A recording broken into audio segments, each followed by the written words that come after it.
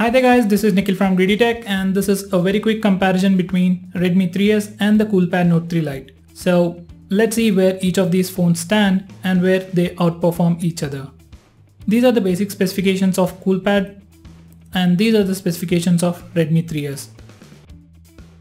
Both the phones have pretty good build and design but if we are to compare them, Redmi 3S definitely makes a mark with complete unibody metal design which is commonly found in mid-range devices. So Redmi 3S is your better looking phone and you can also get it in gold color.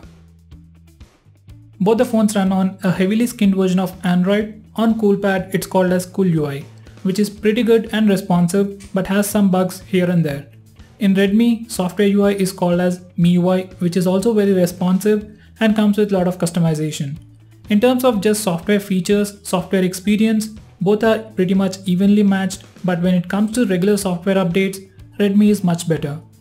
You will definitely get continuous and timely updates on Redmi 3S for at least 2 to 3 years. The same can't be said for CoolPad.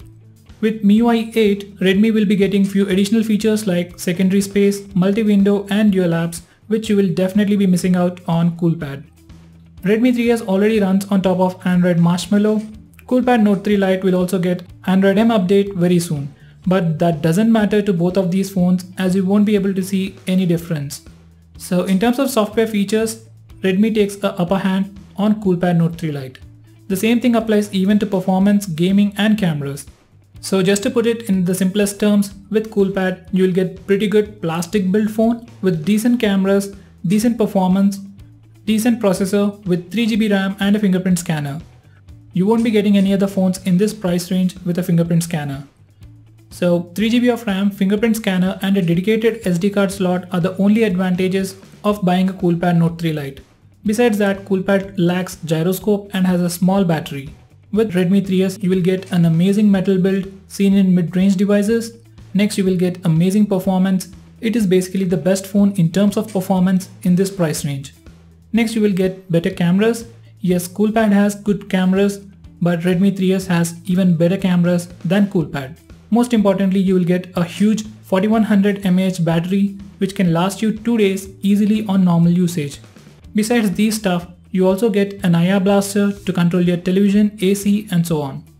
And also, it has all the basic sensors including gyroscope and compass.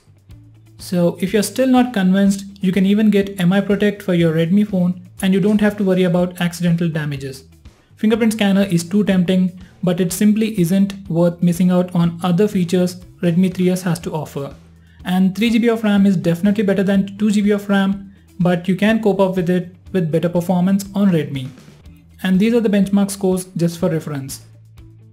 So if it was my decision, I would definitely buy the Redmi 3S and just so you know, CoolPad after sale service is pretty bad.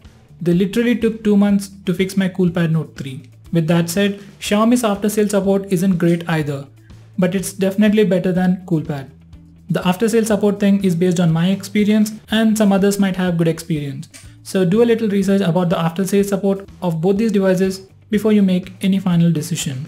So that's pretty much it guys. Thanks for watching this video. I hope you found this video to be helpful. If you do, hit that like button and stay tuned to us by subscribing to our channel. I'll catch up with you in my next video. Until then, have a nice day.